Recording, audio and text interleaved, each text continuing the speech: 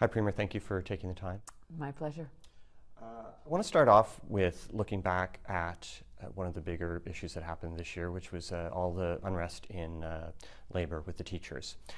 What are you going to? What have you learned from that, and what are you going to do differently the next time?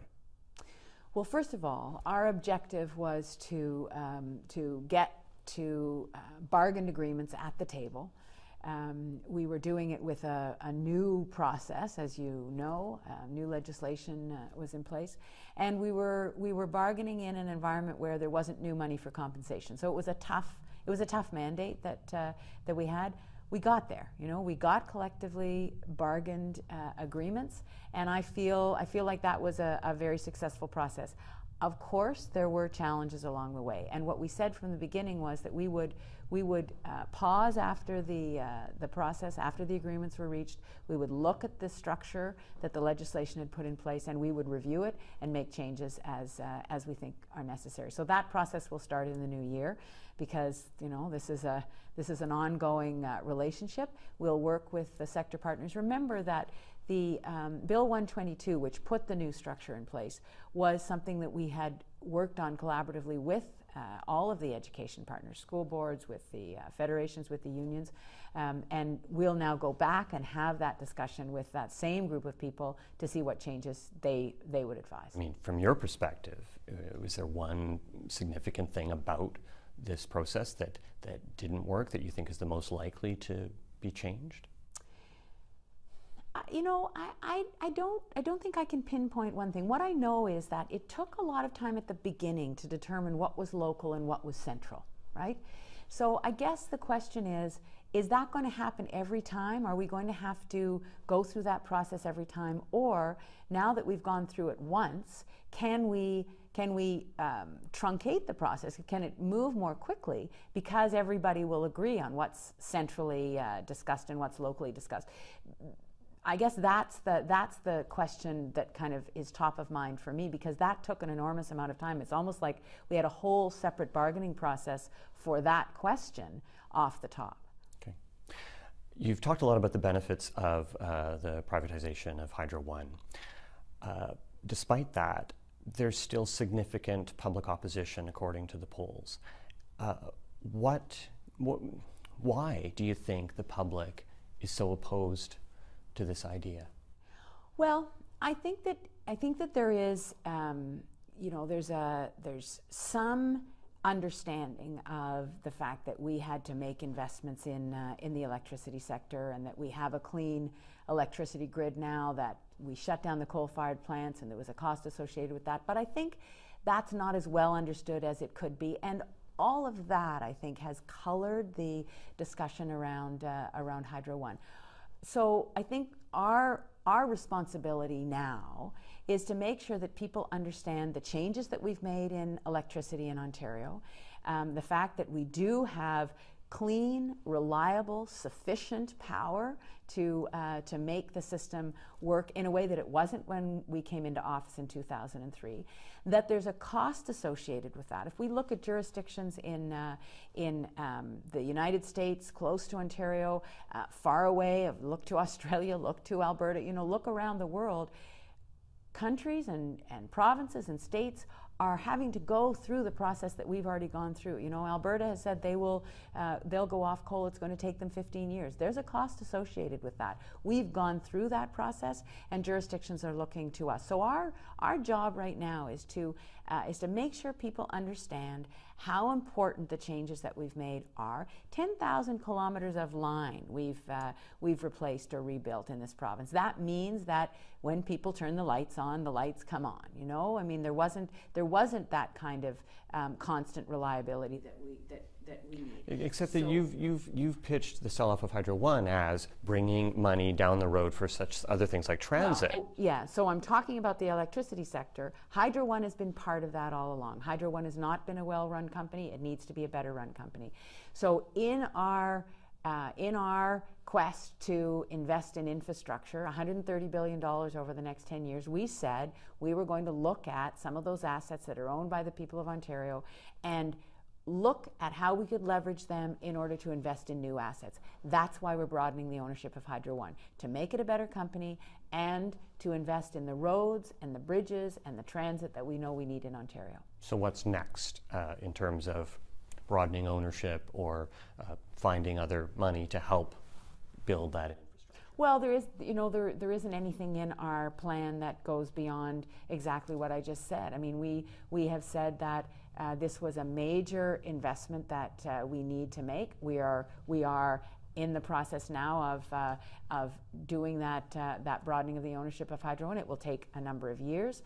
In the meantime, those investments are infra- in infrastructure are being made. The other thing that, uh, that we're tackling is cap and trade, you know, uh, the reduction of pollution, the reduction of greenhouse gas emissions. We will be, we will be putting uh, revenue from the cap and trade system into uh, green investments, you know, that will help people, will help people to retrofit their houses, but will also invest in, uh, in infrastructure that, uh, that will also help us to reduce greenhouse gas emissions. So that's the most specific I think I've heard you be about the fact that there's going to be something in the way of a retrofit program. Is that something we're going to see in 2016? I hope so. You know, that's certainly that's certainly something that I will be looking for. Um, it it is also something that I think is uh, part of the discussion with the federal government because there have been there have been programs in the past that the federal government has taken part in. I think it's one of the ways that uh, that the federal government can work with provinces.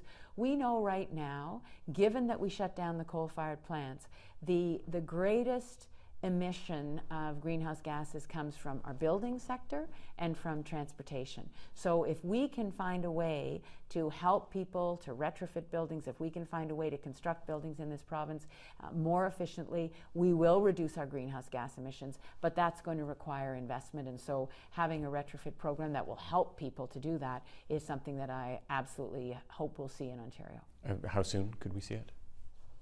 Um, you know, this is a this is a discussion that we'll be having with the federal government very soon. The, you haven't started that discussion yet. No, we haven't. We not we haven't had that specific okay. discussion. But the uh, the prime minister will be sitting down with premiers in the next three months to talk about how are we going to meet those targets that uh, that were uh, set at at Paris. You know, how are we going to reduce our greenhouse gases? What will the what will the national targets be? And as we have that discussion, we will have to talk about well, what are the what are the supports, what are the investments that the federal government is willing to make? Because up until this point, it's really been the provincial governments that have been uh, carrying the carrying the load on this. Um, I want to ask you about the guy who stands across from you in question period every day uh, because he's new this year, Patrick Brown. What do you make of him? um, you know, I uh, I think that he is. Uh, he's not yet well known to us. I don't I don't have a great sense of him. I haven't spent a lot of time with him, um, and uh, I think people are going to have to make their own their make their own assessment of him. What I do know is that he.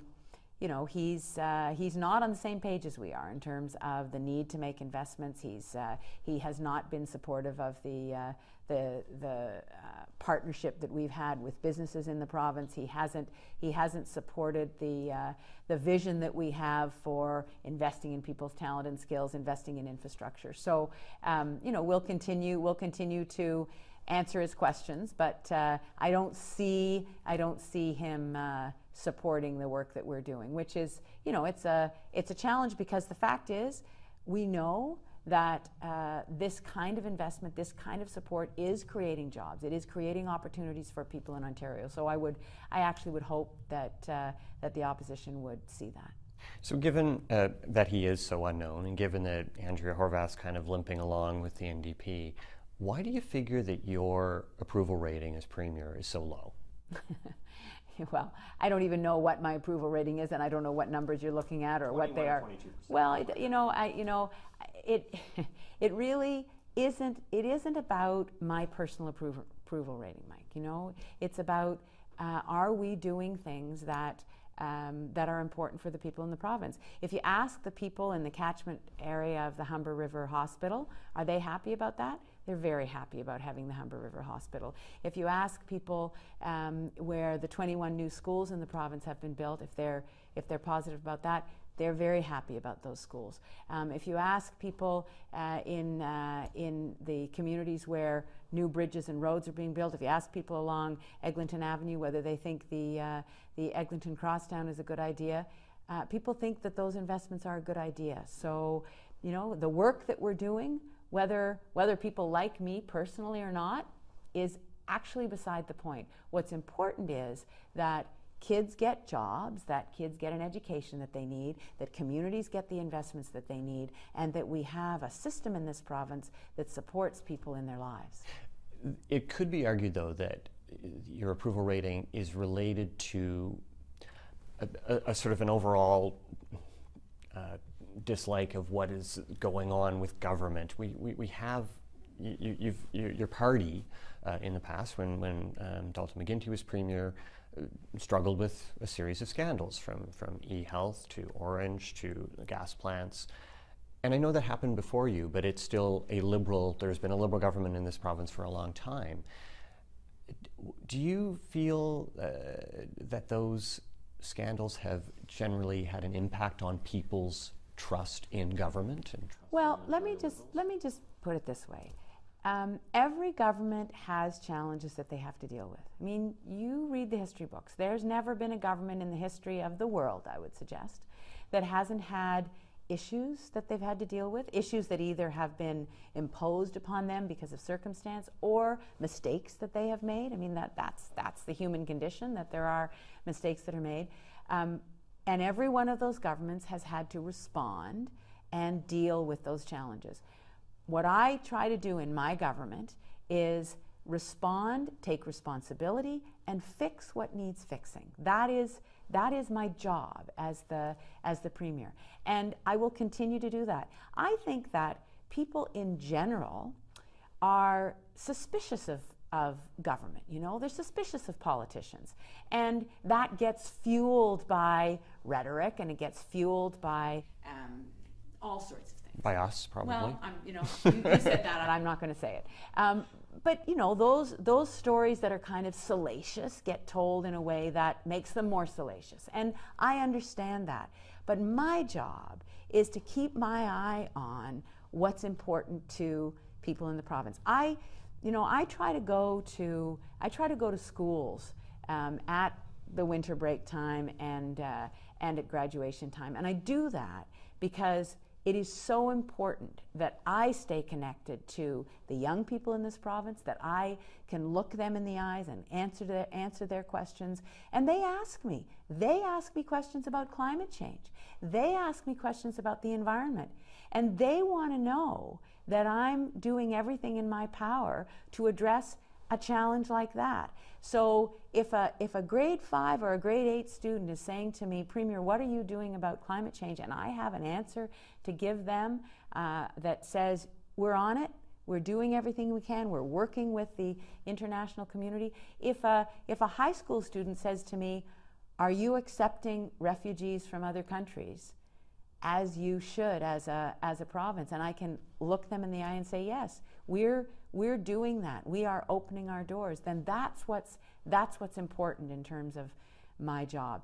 If you don't like me or somebody who's reading the newspaper doesn't like me, I'll try to, I'll try to gain favor with you, but only by doing my, only by doing my job in the best way possible. And given these things that have, that have happened, why should people trust the Ontario Liberals? Because they need to look in their own communities and look at what's happening. Are we following through on the things that we said we were going to do? Um, are there teachers in the schools? Um, are they getting the health care that they need? Are their family members getting the support that they need? Um, are we making the changes that we need to make in order for home care to be delivered in a way that, that makes sense to them? If there's, a, if there's a, a dangerous piece of highway, are we fixing that piece of the highway? Are we making those changes that are going to improve their lives? And that's what government exists to do. And if we are doing those things, then people will have confidence. If we're not doing those things, then they, they, are, they have every right to question us and hold our feet to the fire. How certain are you that you're going to achieve a balanced budget on target?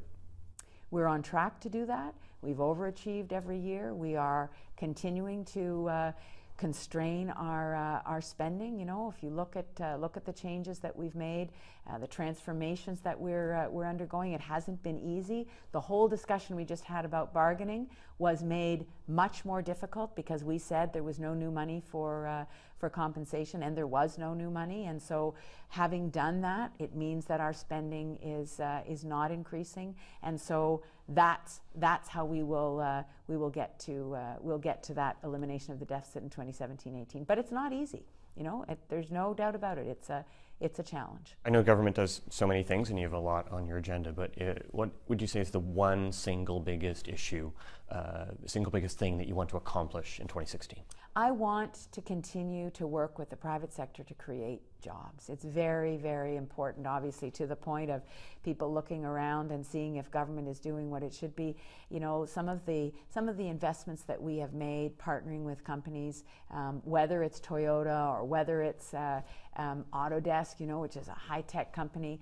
Um, those kinds of investments and supports, the creation of jobs through investment in infrastructure. 110,000 jobs a year we're creating by investing in infrastructure. I want that to continue, and I want to see results from things like Experience Ontario and the youth employment uh, strategy that we've put in place. We're seeing good results where young people are getting placements and then getting jobs. I want that to continue. I think there are 30,000 young people who got a placement last year, and uh, and that that led to uh, that led to a job. So that kind of work is fundamental to uh, to our success. Any specific target for number of jobs or reduction in the unemployment rate or anything like that?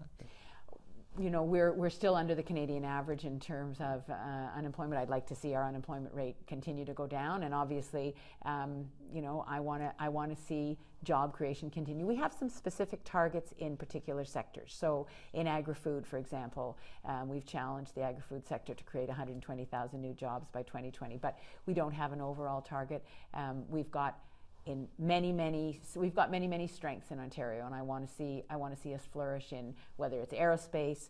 We've got lots of uh, good things happening in the auto sector, even though it's it's changing. The auto sector is changing, but we're seeing investments in Ontario that are very important. Thank you, Premier. Unless there's anything else. No, I think we're, uh, I think we're good. I hope, I hope 2016 is a great year for everyone.